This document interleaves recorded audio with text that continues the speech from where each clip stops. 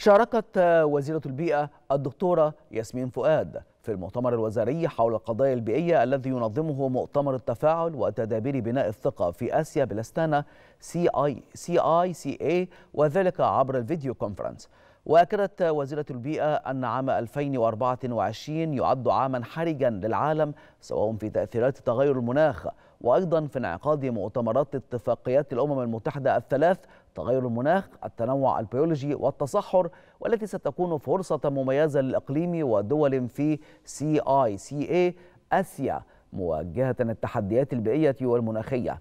وشددت على استعداد مصر الكامل لدعم دولة أذربيجان في استضافتها لمؤتمر COP 29 للخروج بمؤتمر ناجح يلبي احتياجات ومتطلبات الدول النامية والمتقدمة واقتناص الفرصة المهمة التي وفرها إعلان صندوق الخسائر والأضرار الذي تم إعلانه في مؤتمر المناخ بمصر كوب 27 معربة عن أملها للخروج بهدف جمعي جديد للتمويل في مؤتمر المناخ ليكون كوب 29 عادلا للدول التي تواجه آثار تغير المناخ.